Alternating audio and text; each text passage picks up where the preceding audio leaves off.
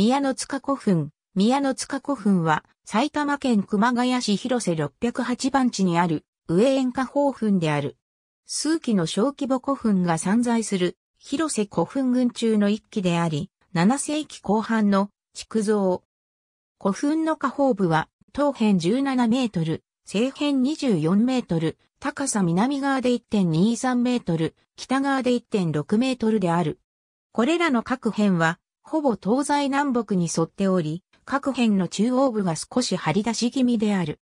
墳丘全体の高さが4.1メートル規模の、形状の土森に、東西約10メートル、南北8.5メートルの楕円型で、高さ約2.50メートルの上円部が畜生されている。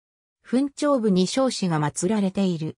上円部、下方部ともに人頭大の河原石の石積みが一部残存しており、これらが吹石と考えられる。